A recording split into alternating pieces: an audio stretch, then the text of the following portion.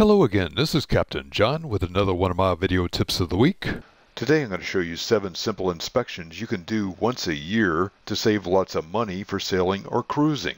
Inspect your boat sails and repair your boat sails each year. Remember these are your main propulsion, not your engine. Remove all sails and canvas, and that includes Bimini's and Dodgers, from your boat. Take them down to your local sailmaker and have them do a head-to-toe inspection on your sails and canvas. Ask your sailmaker to beef up worn areas and add additional chafe patches to prevent problems in the future.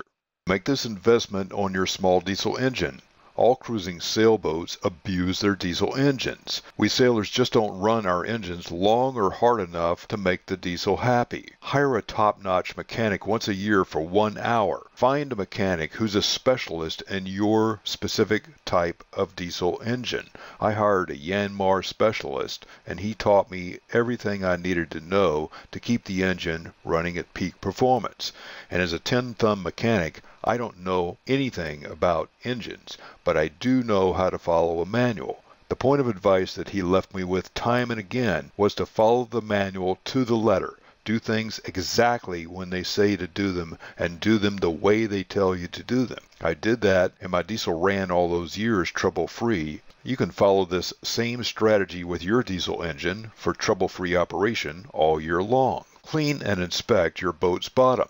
Do you sail in fresh water or salt water? If you sail in salt water, your bottom gets fouled after a few months dockside, or at anchor or mooring. If you don't haul out, hire a diver to check the bottom, propeller condition, and rudder. Keep them clean and barnacle free for peak performance. Test every seacock. If you haul the boat, you need to break down every seacock, inspect the internal parts, and grease the fitting. Use silicone waterproof grease to prevent damage to rubber parts. Keep your seacocks in top condition so that they serve you for years to come.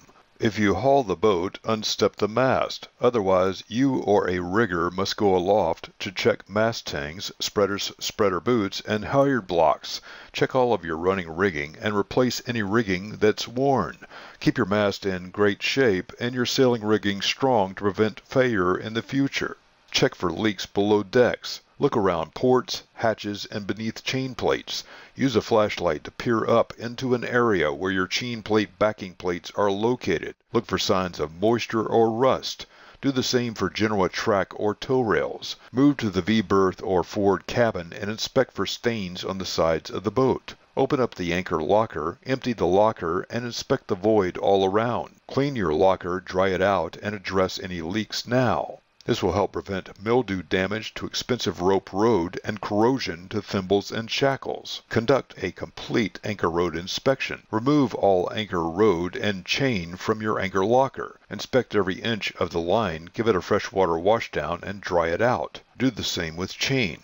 Check and replace corroded or worn thimbles, shackles, and shackle pins. Inspect the wire or nylon ties used to hold your pins in place. Keep your ground tackle in top shape for safer sailing anywhere in the world. Follow these 7 easy sailing tips once a year for stress-free cruising or sailing. This is Captain John, and this has been another one of my video tips of the week. Find more sailing tips and techniques on www.skippertips.com.